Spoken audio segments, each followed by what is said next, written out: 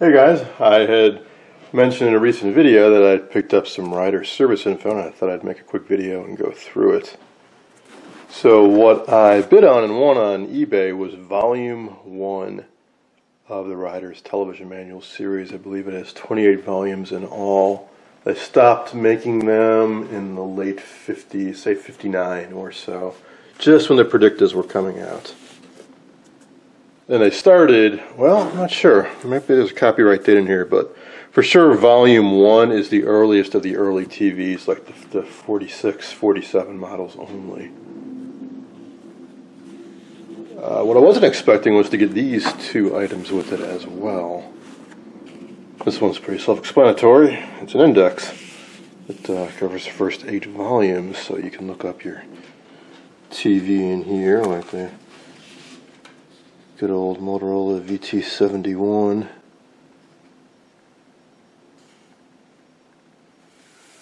There it is, covered in volume one. Because yes, those little seven-inch Motorola's were one of the earliest TVs in the market that came out in 47. And they do it both by chassis and by model number. So VT71 is listed over here, but it also uses the TS4 chassis, and you can look that up over here. So it's handy not only to look up your TV to see what volume of the service info it's in, but it also will tell you what chassis it uses. Or, if you got a chassis, it'll tell you what models used it. Alright, and then this is something I'd never seen before. How it works. in complete index for volumes 1 and 2. So this must have come with the really early stuff. I mean, just the first two volumes. So so uh, basically, every every few months or years, they would have to keep putting out more uh, editions of the index as they added more volumes to the series. So this is just one and two. This is one through eight, and I believe I've got one somewhere around here that covers up to volumes 14 or something like that. And if you go online, the Early TV Foundation has scanned the complete index.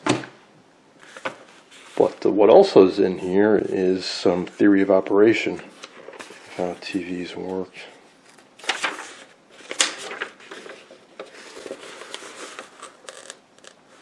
Copyright 1950, okay, so maybe that's when these first volumes came out. What I'm not sure about is this is Riders Television Manual Volume 2, and then how it works, blah, blah, blah. Well, this clearly isn't the Riders TV Manual Volume 2, that's another giant book like this. So I don't know if there's another one of these, and they were saying that this itself is the second volume, or or what the deal is. Because if there is a volume one to this, I'd really like to get a copy of it. They jump right into TV receiver controls, and maybe volume one covers some other principles of TV operation. Anyways, I'll tell you some basic commonly used circuits you'd find in a TV and how they operate section by section. And they explain the intercarrier sound system, which not many early TVs used, but the Motorola VT71 did. That's where both the sound and video go through a common IF and they pick out the sound right after the detector. Most early TVs have a pickoff right after the tuner and they have a whole separate IF just for sound and one for video.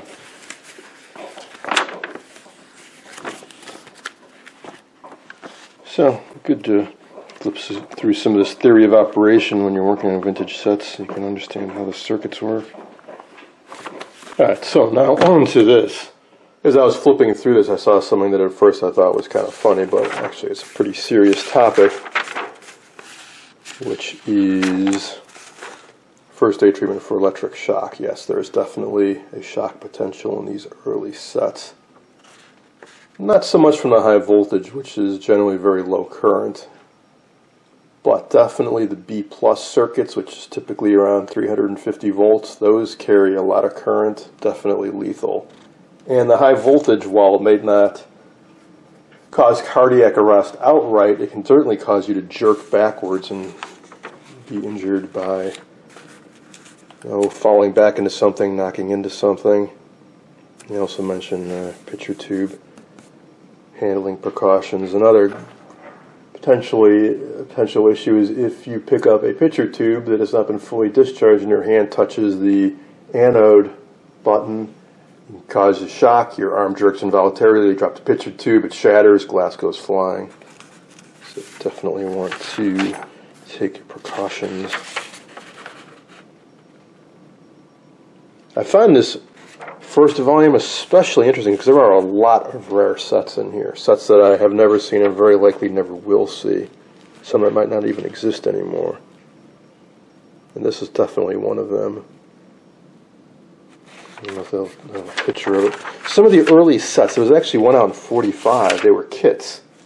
People, uh, companies really wanted to rush something to the market to be the first or one of the first.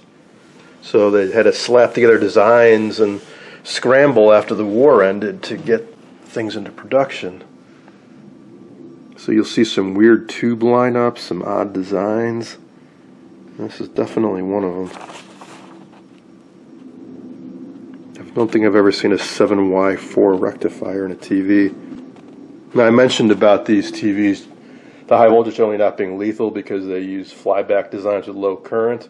Some of the earliest sets like this are brute force, where they actually have a high voltage winding on the main power transformer and use a rectifier tube.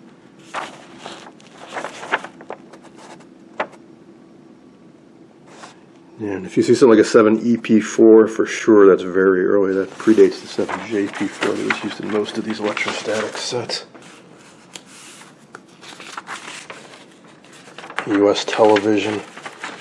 A lot of people think this is one of the ugliest TVs ever made, and I can understand why, but I'd love to have one someday. These were designed for bars and restaurants and such. It has a, a leather exterior with rivets on it, kind of like a uh, country western look, and it has a rear projection TV and AM FM radio, and I believe it was designed to be coin operated. Do show up now and then on for auction. Usually, you can get them fairly inexpensively because not many people want one. They're very large and kind of ugly. We got Hallicrafters, Belmont, Westinghouse, Stromberg-Carlson, Philco, uh, Dumont. This apparently is not alphabetical. We've kind of been jumping all over with manufacturers. I'm trying to find some of the photos of the sets. There's plenty of typewritten info. Now, this info came from the manufacturers. Riders would make deals with the manufacturers to reprint their factory service info. Whereas Sam's Photo PhotoFact, they would actually buy a TV and reverse engineer it. So their service manuals are very consistent with the layout, schematic up front, then photos with part placement diagrams and a parts list these, every manufacturer did a little bit differently. Sometimes you just get a schematic. Uh, if you're lucky, you get a little bit of write up, maybe some alignment info, often uh, no parts list. Here's another very early TV. I believe this was a kit. Either a kit or they sold very crude cabinets.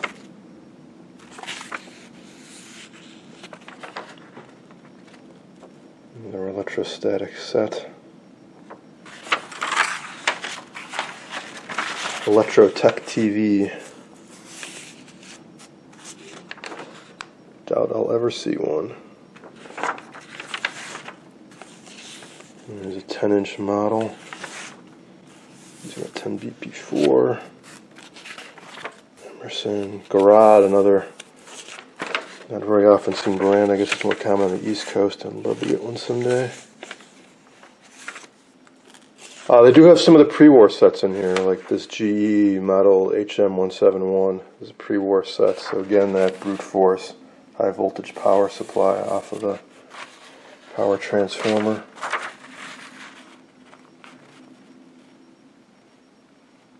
Five BP4 picture tube, actually aren't as hard to find as you might think. It's probably the most common of the early pre-war picture tubes. Basically, an oscilloscope CRT 5BP1 is super common. They just use a different phosphor on the front of it.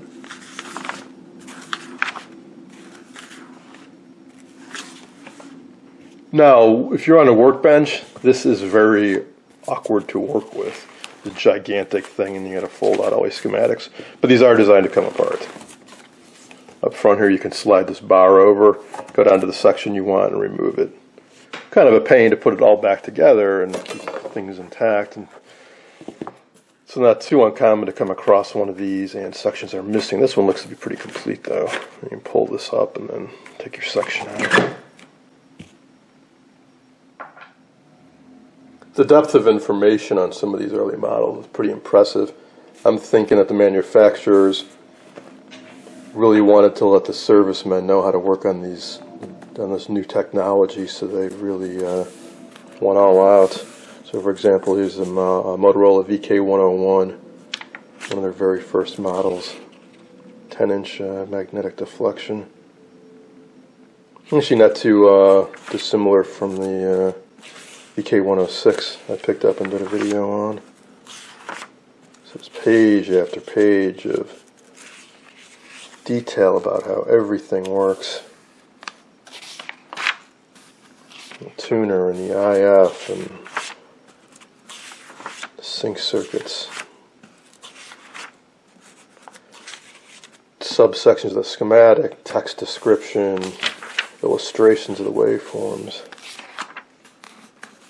people ask me how do I know about uh, how to work on these old sets. Well, this is a big part of it. reading this, yeah, not the most exciting thing to read, but if you want to learn, you know, put in the time.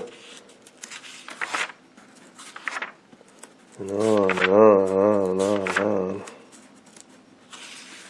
Alignment procedure, and then troubleshooting. If you have problems, they tell you what part of the circuits to check. Waveforms. Alright, so that's into the Motorola. Now, so the last thing I wanted to show you guys was the sections on the pre-war RCA TVs, the ones that were shown at the World's Fair in 1939. So this is a TT5 or TRK5. Love to get one of these, one of the rarest of the pre-war sets. Well, they're all pretty rare, but this one looks really cool. Unfortunately, there's a picture of it in here.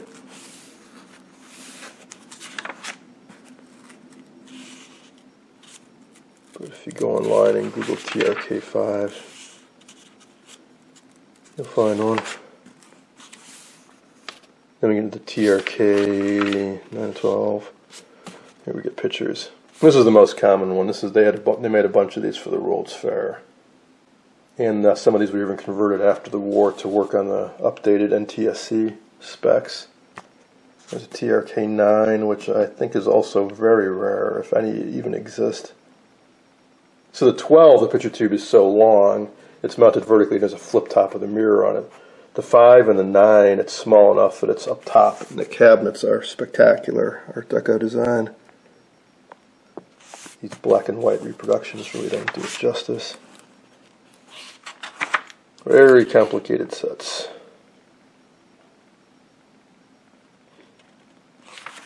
And part of that is the tubes that they had to use were all the big tubes all octals, and uh, they didn't have anything like dual triodes, I don't think. So no six SN7s or anything like that. You had to use tube after tube after tube, all single function tubes.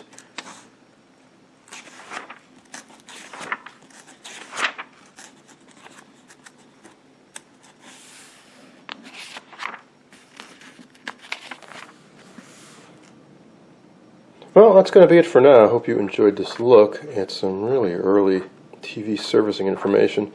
If you'd like to get your own copy, well, there are uh, scans available online for free download, or keep your eye out on eBay. These do show up from time to time.